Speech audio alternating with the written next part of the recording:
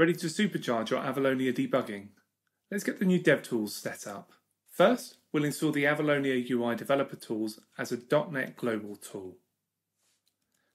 If we were on Windows or Linux, we'd simply replace the Mac OS with either Windows or Linux. It's pretty simple. Once installed, DevTools is available across your entire system. Next, we need to add the diagnostic support NuGet package to our Avalonia app. I'm in the right directory, so I'm just going to use the .NET CLI for this. Now let's enable DevTools within our application. We'll go ahead and find the app.initialize method, which is just here, and look for the Avalonia XAML loader.load method.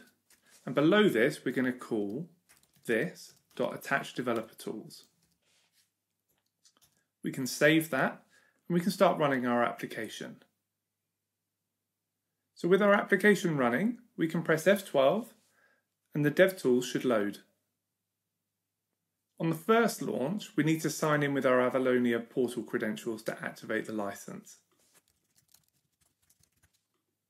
After activations, the DevTools will work entirely offline. And that's it. The DevTools is running and attached to our app.